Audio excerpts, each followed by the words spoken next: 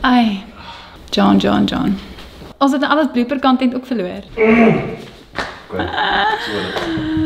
Ons skiet die hele video die man rekord nie die mic nie. Idiot. Wel twee jobs, nou daarom die keer die kamera aangesit, maar nie die mic nie. Kan ek net sê dit was so goed. Dit was. As hierdie inauthentic like, dit is. Want John druk nie rekord nie en jy gaan ons weer. Okay, ek gaan nou, nou moet ek iets vir dink. Sien ek baie snaaks.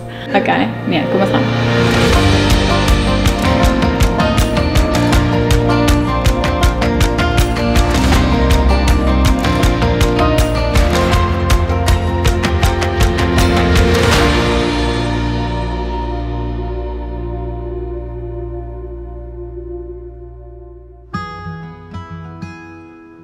Hallo julle, baie welkom by die eerste video van 2020. Alhoewel ek weet dit is Februarie teen die tyd wat hierdie video actually op YouTube gaan wees, maar my wens vir julle is nog steeds dat dit 'n baie mooi en geseënde jaar is en dat julle lekker kon rus oor die feesseisoen. Ja, hierdie is eintlik besom net 'n intro vir 2020.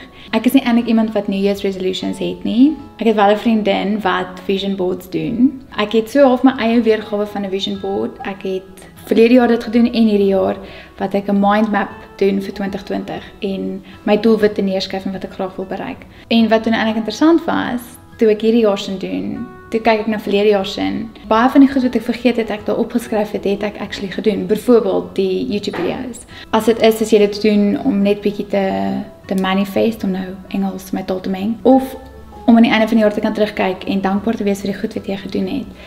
Um, is dit dalk 'n goeie idee om iets in daai lyn te doen of dit nou vision board of 'n mind map of New Year's resolutions is, maar met fisies neer te skryf. En dan 'n ander ding is ek weet baie mense het 'n woord vir die jaar of vir elke jaar het, hulle 'n woord. Ek is nie noodwendig een van daai mense nie. Ek het nog nooit 'n woord gehad vir 'n jaar nie. Behalwe hierdie jaar, toevallig vanaf basies maar begin Januarie, het daar heeltyd hierdie een woord in my kop in in Maart bly opkom en die woord is diensbaarheid. En ek dink vir my om dit prakties toe te pas is daar verskillende maniere om dit te doen.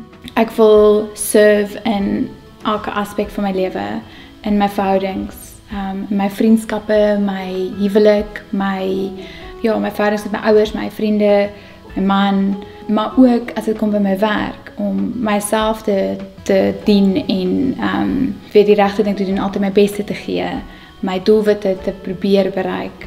En selfs ook met ons huis om in ons huis te serve en met dankbaarheid hier te kan wees en nie om te gee met skorrige weg te pak of hopelik sal sy nie omgee met gras is nie nee, hy doen nie. So dis okay.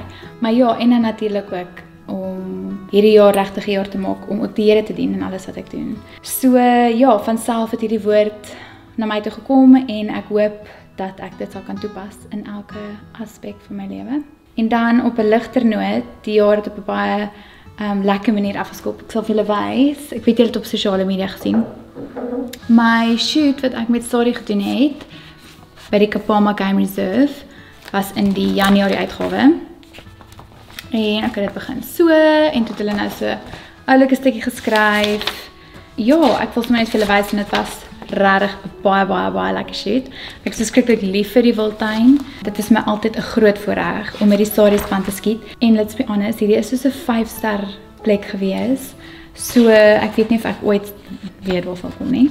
Ehm um, hierdie is een van my favourite foto's wat ons super vroeg moes opstaan om die sonsopkoms te skiet. Ek dink ek was soos 3 uur in hare in my kap, 3 die oggend obviously. Maar ja, dit was regtig 'n 'n once in a lifetime experience gewees en 'n storie, mode storie waarop ek baie trots is.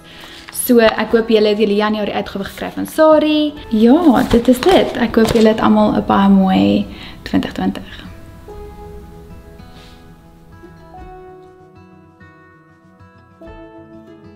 Dit is regtig eintlik net 'n welkom video. Daai serve het nie vir so lekker gewerk soos net aan iemand toe maak kom Ek het ons. tog eens aan begin surf die jaar. Hoekom daai al sal ek in 'n wetsuit? Nee, maar jy maar, ek- hoekom dink ek heeltyd jy vang vis? Lekker ek vir 'n visser man. nee, maar ek dink heeltyd jy vang vis.